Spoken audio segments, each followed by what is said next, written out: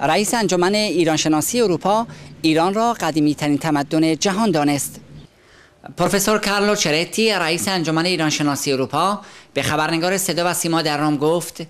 به اساس کاوش های که باستانشناسان ایرانی در استان کرمان در شهر جیرافت کردن وجود اومد که ایران تمدن قدیمترین جهان هست.